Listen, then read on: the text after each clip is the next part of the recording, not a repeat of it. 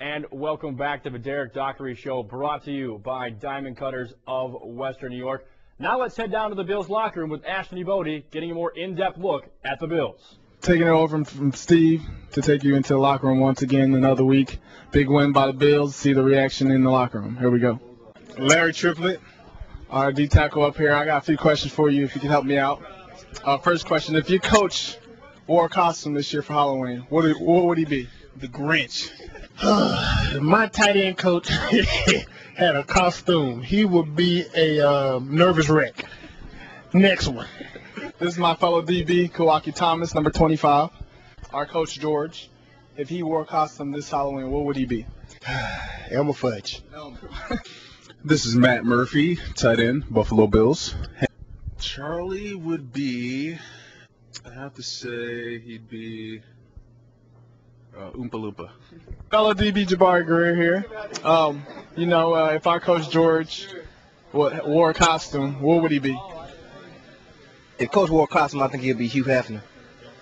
Uh, you know, as uh, when you go in there, you can just see him with his hair slicked back and his uh, his smoking robe on. Uh, as a kid, what was your favorite candy? Uh, my favorite candy. You know, I love Snickers, man. Uh, Snickers. Prob- my favorite kind of candy would be Three Musketeers. My favorite candy growing up, man. Please don't say Snickers. I really don't. I really don't have a favorite, man. I really, I, I mean, there was so many. I like Snickers, Kit Kats, Kisses, everything. Man, I liked everything.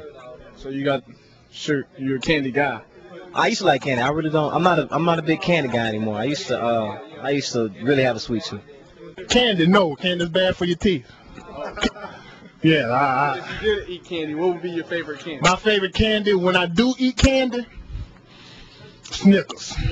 We have about five for Snickers now. I'm the only Milky Way guy. Oh yeah, you just different.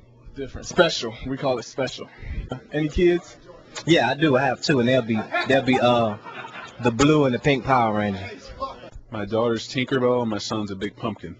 Yeah, my daughter, her, her big thing is being a princess, so, you know, I let her be a princess. Getting her the whole, the whole princess, everything.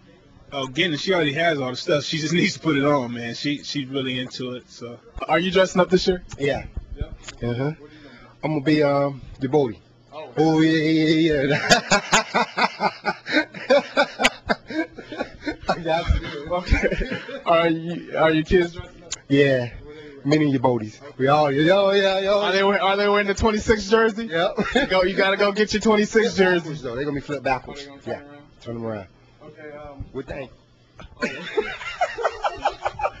we got some inside jokes here. Can't end the show without 30 seconds, you know? So here's Jabari Greer for his 30 seconds. I don't know what to say, man. I just I guess uh I appreciate all the you know all the love that I've been given, but I, I realize that uh you know this is uh this is all fleeting, man. So everybody, I want to say thank you, and I'm gonna continue to put out a product that uh the community of Buffalo can be proud of. Thank you. Jabari Greer. So I guess we got a couple Grinches. We got some Snickers, lo- Snicker lovers. We got some crazy costumes. But at the end of the day, when you have a 6'5", 333 guy coming at you, you gotta be fast and quick and run. That's what I'm gonna do. Out of here.